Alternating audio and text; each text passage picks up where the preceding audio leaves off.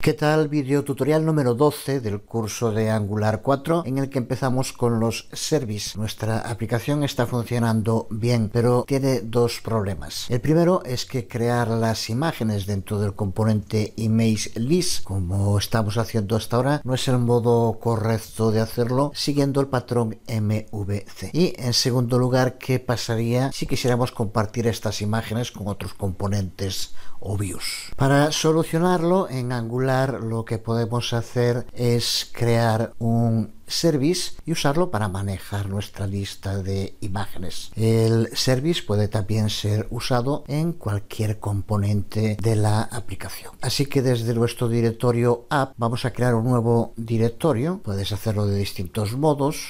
Aquí ya directamente. Directorio service en la raíz de la aplicación. Vamos ahora a este directorio en la consola. Sitúate en el nuevo directorio que recuerda que se encuentra dentro de src app service Creamos un nuevo service llamado image con de ng, g de como ya sabemos, s service y el nombre que queramos darle con lo que nos crea el nuevo service. Pero observa la advertencia que aparece debajo, que el servicio se ha creado, pero que no está provisto, que tenemos que hacerlo. Lo que significa que tenemos que añadir este service en los providers. Esto tenemos que hacerlo en el archivo appmodule.ts que está dentro del directorio app.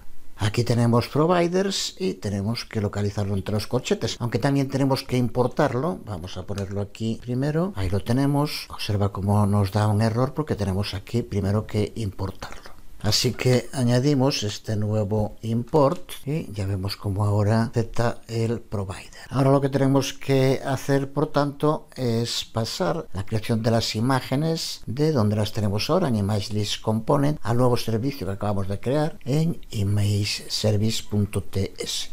Empezamos por importar el modelo image con el que ya estamos trabajando colocamos la creación de las imágenes dentro de la clase image service, cópialas del archivo del componente en el que estaba. Y por último dentro del constructor añadimos una nueva función a la que llamamos getImage que es la que nos va a permitir recuperar y mostrar nuestras imágenes en cualquier sitio y también observa cómo utilizamos aquí el decorador injectable lo utilizamos cuando creamos un servicio y es el que nos va a permitir usar posteriormente en este servicio en otros componentes inyectarlo en otros componentes pues ya estamos preparados para importar este servicio que hemos creado. Así que vamos a modificar Image Component y lo primero, como siempre, es importar el servicio. Así que añadimos este nuevo import image service. Si no lo has hecho, puedes ya eliminar la creación de imágenes que ahora están en el service y lo sustituimos por un array de imágenes vacío y desde ng on init podemos llamar al servicio y obtener las imágenes mediante el uso de getImage servicio que tenemos que indicar en el constructor con private image service image service y aquí el método que creamos en el servicio get image.